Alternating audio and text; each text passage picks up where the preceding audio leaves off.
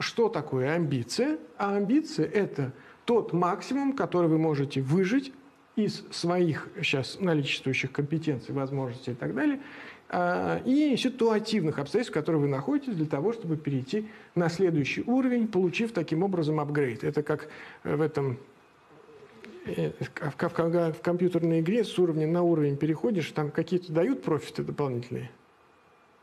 Кто-то играет в это? У нас здесь есть знающие. Вот, значит, вы переходите на следующий уровень, у вас есть возможности дополнительные они появляются после того, как вы используете те, которые есть. Если вы не прошли свой первый уровень, вы не получите ни дополнительных возможностей, ни возможности на следующий уровень перейти.